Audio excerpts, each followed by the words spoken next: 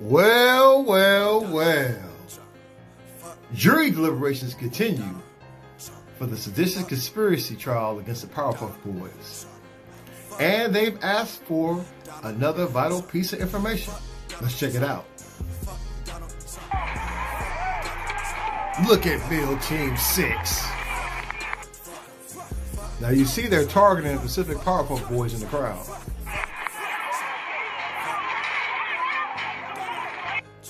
I mean, these fuckers left an overwhelming amount of evidence against them.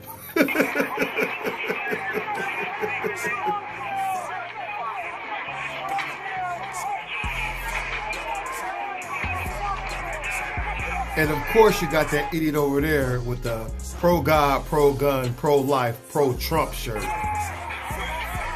Motherfucking Meal Team 6 up in here. There's only one verdict I'm waiting on.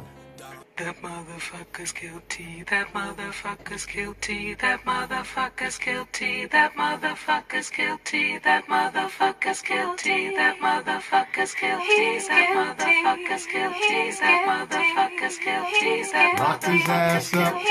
Lock his ass up. Lock his ass up. Lock his ass up. Lock his ass up.